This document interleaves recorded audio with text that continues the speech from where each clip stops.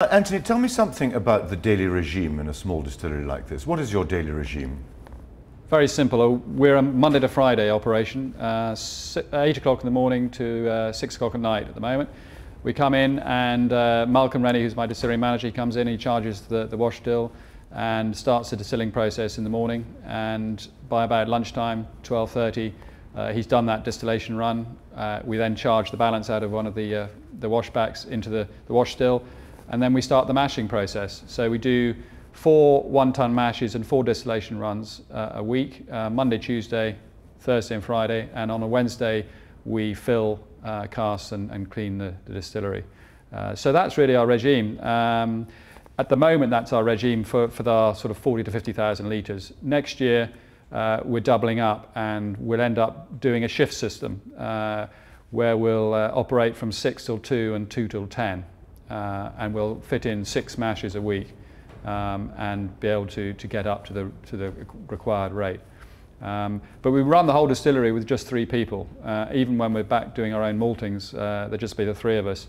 Uh, at the moment, uh, there's Malcolm, myself, and I've got my son working here at the moment, but we're taking someone on at the end of the month to, to work alongside Malcolm uh, doing the distilling, and I fill in with the mashing and, and, and the malting side of things. How long with that regime, how long uh, does it leave you to ferment? How long? How long is what are your fermentation? Well, we're getting good. We're, we're trying to get maximum uh, fermentation rates of over 70 hours. Uh, we achieve that with the the two um, uh, mashes that we do on a, on a Thursday and a Friday.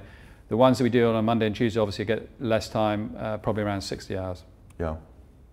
And then, how long does it take you to uh, distill off your wash still? Uh, in fact, both the wash still and the spirit still roughly the same length of time. I mean, uh, from starting at 8 o'clock, it'll be uh, around 12.15, 12.30 that, that the wash still is, is distilled out, and the spirit still just a little longer, maybe half an hour longer than that. With a very small team like that, what happens if someone goes sick?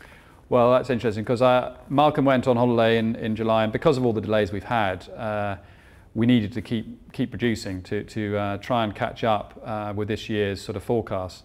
So when I told him a month before he went on holiday that actually he's going he's got a month to show me how to do it, he was a bit horrified, but he did, and uh, we carried on distilling. Um, and uh, I did it uh, with my son. Now it sounds pretty horrifying, probably for a lot of people, but. Um, within a month, I, I, got the grasp of it, though we had some interesting moments. Uh, it all went okay, though except the filling was a bit interesting, and I shouldn't probably be saying this on camera, but we would manage to reduce it slightly more than the 63.5% that we should have done.